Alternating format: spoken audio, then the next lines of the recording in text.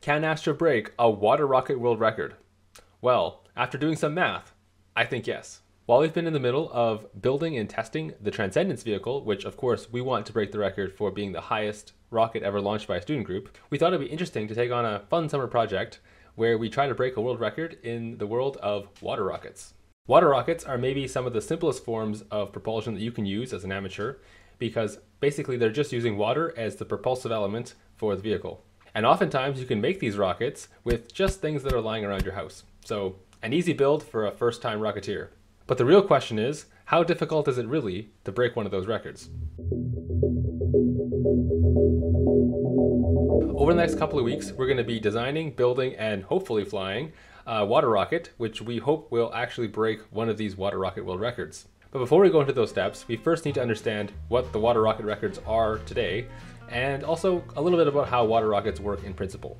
All of these factors will inform our design and allow us to have a compliant vehicle, while also hopefully exploiting some rules of physics to help us get those extra couple meters that'll hopefully allow us to break a record. I can't change the laws of physics.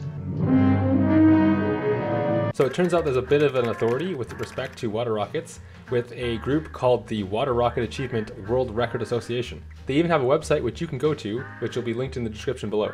Essentially, there are five different categories which you can qualify for in order to achieve a world record. The first three classes are specifically referring to water rockets which can use any sort of materials in their construction, which kind of makes them a bit more difficult to attain because uh, obviously people have already resorted to using things like carbon fiber and aluminum and fancy materials that are giving you lots of strength and not so much weight. But this is not really in the realm of uh, easy feasibility for a general audience, I would say. So we're actually not going to attempt these world records because we already have all of our efforts with those types of materials working on Transcendence. Instead, we're going to focus on the last two categories, which are Class D and Class E. And these two classes use unreinforced water bottles in order to achieve their highest altitudes. This is important because the bare plastic bottles can only take so much pressure of course, if you reinforce them with all kinds of fancy materials, you can get those pressures going really, really high. And water rocket power is basically a function of how much pressure you put into the rocket that you're firing. So there are a couple of rules which you have to follow in order to be compliant with uh, the different classes of, rocketry records. So for class D, you need to of course use water as your reaction mass. Um, you have to have a dry mass of your vehicle, which is under 1.5 kilograms. This means that you basically weigh the vehicle without the water in it, and it has to be less than that. Um, I'd be surprised if you made, built one that was more than 1.5 kilograms because that would be a pretty heavy rocket. There are also some rules around the bottle that you're allowed to use, so you can't actually use a bottle which exceeds 2 liters. The next rule is having to do with the pressure. Um, so the maximum pressure that you're allowed to use in that bottle is 6.9 bar, which is 100 psi.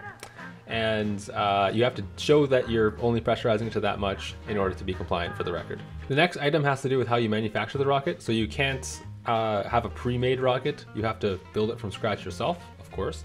The next rule has to do with how you record your altitude. So of course you need to have some sort of altitude measuring device which will record how high your bottle has gone and that has to be contained on the bottle itself. Then next up you actually have to have a video recording device on your rocket. So you also need to have a camera probably somewhere on the bottle rocket which records the flight itself. And you also need to have a ground-based camera that records the flight as well. And that's just to make sure that the flight actually took place. Then finally, you need to actually perform this launch two times. So you don't, you don't just launch the rocket once, you have to actually launch it twice within a two hour period. So basically you average out the height of the two flights, and then that is the number that gets listed as the record that you have. Those are all the rules for the Class D category. The record for this category is actually held by a guy called Kevin Colville, and he flew his bottle rocket up to an altitude of 127.1 meters which when you think about it is like pretty high. Like that's more than a football field. Overall, I think this record would be a pretty tough one to beat. So if we are going to go for it, it's definitely going to be a bit challenging in terms of the physics involved. But there's actually one other record that might be interesting, which is the Class E category. And this is basically the open design for the unreinforced bottle. So you're not as limited in terms of the design choices that you can make with the bottle. You don't have to just stick to one bottle.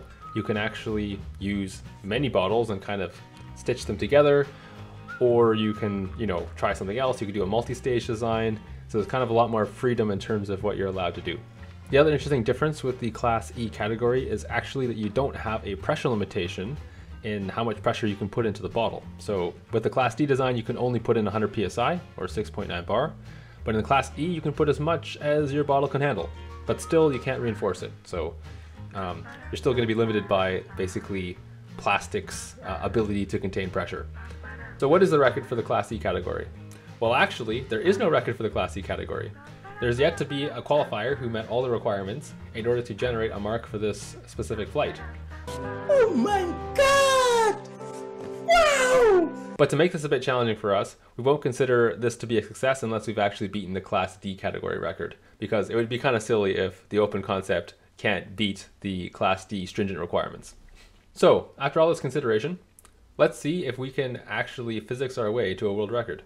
But before we can do that, we have to delve a little bit into the physics of how a water rocket works. And then, hopefully, we can exploit them in order to generate a record-breaking performance. So basically, water rockets work based on the Newtonian principle of for every action, there's an equal and opposite reaction. So to get that equal and opposite reaction, we actually end up pushing water through the nozzle, and that will push the bottle forward. And the way that we push that water out the nozzle is by compressing air inside of the bottle, and that compressed air pushes the water out of the nozzle and generates our thrust. So in principle, the more pressure you have in your bottle, the more push you get on the water, and the more thrust you'll have for a given mass of water that you have in your bottle. So if we want to make a record-breaking bottle rocket, we need to basically get our pressure as high as we can. The next thing that's important is to think about how much water we actually want to put into the bottle. So the more water we have in there, the more reaction mass we have, and potentially the more thrust we can get in the long run of the full thrusting phase of the, of the bottle rocket. But the more water we have in the rocket, the less air we have, which means that we have less uh, pushing force on the water the later we go into the thrust phase, and we actually end up potentially getting less thrust. So there's actually a happy medium that happens where there is a perfect amount of ratio between water and air in the bottle, and we basically can get the most out of our rocket that's possible. A key to trying to design a world record breaking rocket is to try to maximize that uh, relationship and get the most out of the physics that we can in that system. The next part of water rocket design, which is actually really important, is the aerodynamics. So actually most of the energy of the vehicle actually ends up probably going into drag. So we want to really minimize the drag that the water rocket has. So if we want to figure out how high our bottle rocket's going to go, we kind of need to consider the different forces that are acting on the rocket. So at the start of the rocket's thrust, we basically have one force, which is going to be pushing it upwards, and that's the thrust that we have from the water. And we can model what that thrust will look like using this fancy equation. Basically, there's a bunch of physics in that equation having to do with like the Bernoulli principle and choked flow and all that kind of stuff. We can use this formula to figure out what the thrust phase will look like in terms of the power and the length. And that's just based on how much pressure we have in the vessel, how much water we put in there, and also what the diameter of our nozzle is. So using all that math, we can really figure out what the force on the water rocket will be, pushing it upwards. But we also need to think about the things that are pulling it back down. So of course, gravity will always be acting to pull the rocket back down at a acceleration of 9.81 meters per second squared. But also, we'll have drag acting on the water rocket, seeking to slow it down as it shoots up into the air. And we can model that drag based on the following formula. This is just the basic drag formula that takes into account the surface area of the part, the velocity that the part is traveling at, the density of the air, and also the coefficient of drag that the shape of the vehicle has. Our goal will be to make the coefficient of drag as small as possible because this is purely determined by the shape and we can kind of influence that by designing our nose cone appropriately. So now that we have an idea of how a water rocket actually works in terms of the physics of the flight that's happening, we can actually put all of this into an Excel sheet, which will basically calculate for us what the maximum trajectory can be. Two hours later. Okay, so what we've done here is basically we have created this uh, fancy little sheet here, which is going to be describing the physics that's happening with our uh, water rocket launch. We have a bunch of columns here, uh, which are describing each of the pieces of the bottle rocket with respect to the, the gas that's in the bottle and the water, and then determining from based on the pressures and the size of the bottle and stuff, what the exhaust speeds will be, and then from there, figuring out what the thrust will be. And then I've also incorporated some things with respect to the drag on the vehicle. And from there, you can kind of go and start calculating out like things like your acceleration, your position, and your velocity. It's pretty comprehensive, this, this sheet, with respect to trying to figure out what exactly your final altitude will be for a water rocket launch. The only thing you have to do on this sheet is basically put in the variables that you want into the yellow boxes here. So those things are basically the pressure that you're going to pressurize the water rocket to, the length that the bottle has, the radius that the bottle has, um, the throat diameter, or sorry, throat radius that you want, and finally the dry mass of the vehicle. So uh, this is kind of making a small assumption, which is basically that the bottle is a perfect cylinder. Of course, bottles aren't perfect cylinders, but uh, for the purpose of this analysis, it's a good enough approximation.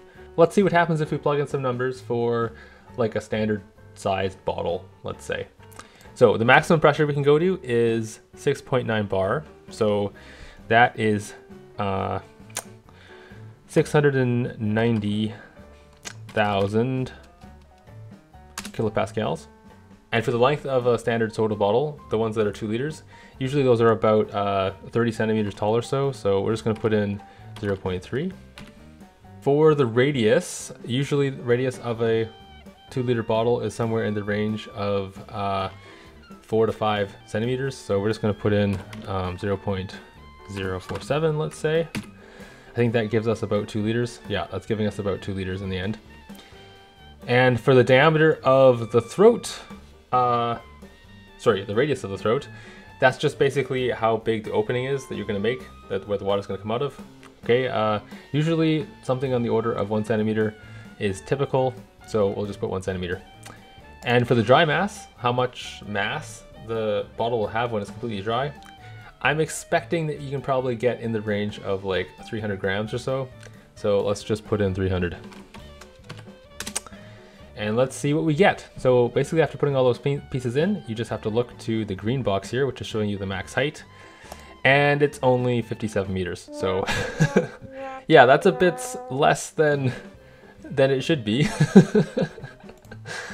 uh, the record is 127 meters, so 57 is definitely slightly shy of that, I would say. Come on now, dog. What, what is going on here and what are the parameters that we can affect? Right now, we're kind of using a flat assumption for drag, which is that the coefficient of drag will be 0.3. So maybe if we play around with that a little bit, we can maybe get a little bit higher. So basically, what that means is that we're going to try to reduce the drag on the on the ball rocket uh, as much as we can. Um, so yeah, I'll just throw in another parameter here. So here you can see that, okay, if we have zero drag, like we could get up to an altitude of 73 meters. So even if we like perfected this vehicle and made it so that it had no drag, we still can't beat the record of 127 meters. Why isn't it possible? It's just not. Why not, you stupid bastard? Clearly we need to try something else in order to get ourselves up to a higher altitude. The other parameter that you kind of have that you're able to play with is the dry mass. So obviously the less your dry mass is, the higher it'll go in the end. So maybe if we reduce that a little bit, so like 300 grams is where it is at now. Let's move it to like like 200 grams. Okay, that 71 meters. Okay, how about 100 grams? that that, that's like a super light bottle. I don't know if that's even possible. 75 meters. that doesn't give you much. Maybe if we decrease the drag coefficient as well. My goodness. Let's move it down to like 0.2 maybe. Oh man. Only 93 meters.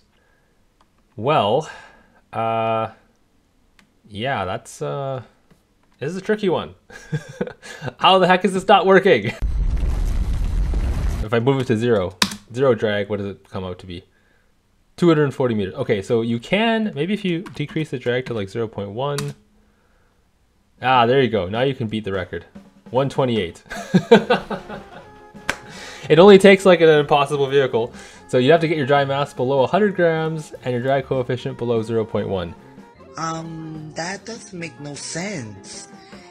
My man. So using the standard 2 liter pop bottle, um, it looks like the record is already quite well um, optimized to the point where basically you have to really nearly break the laws of physics to make it work. But if we maybe can think about what could make this better, we can maybe get some more altitude with a more of an open design.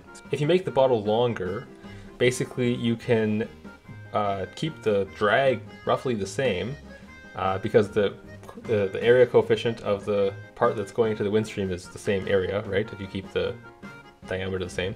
But if you make the length longer, uh, you got you kind of get that extra mass kind of for free in terms of the drag coefficient. So maybe we just make this a bit longer. Maybe that's the solution. So maybe make it like 0.5 or something. So then, yeah, then we can get up to 143 meters. Uh, maybe we can make this even longer. So maybe if we put like three bottles together, three bottles together, so let's say like 0.8 or something. And maybe if we don't use such a wide bottle, I mean, we kind of like make the bottle a bit uh, skinnier. So maybe like 0.04 or something. Uh, then we're getting up to 170 meters. All right. Great success! The drag coefficient still 0.1. Maybe we change that to 0.2, make it a little more realistic. That's still giving us 139. That's still more than the 127, so this is in the right direction. The other thing we can kind of play around with at the open category is the pressure. So uh, with class D, you're restricted to 6.9 bar, but with class E, you can kind of push that pressure as high as you want uh, for the for the open concept. So maybe we can figure out a way to get the pressure in the bottle up to around 10 bar. Then we're getting some nice height, so 188 meters. There we go. The pressure is really the ultimate decider here. If you can push that pressure up, usually it's quite effective. So maybe we're kind of coming close to a design here. So maybe we can go to something like 100, or sorry, to 10 bar with a length of 0.8 meters, which is actually pretty long. You're probably gonna have to put like three or four bottles together to make that work. Uh, a bottle which has a diameter of about uh, 8 centimeters or a radius of 4 centimeters. That should be possible. Most water bottles are in that range.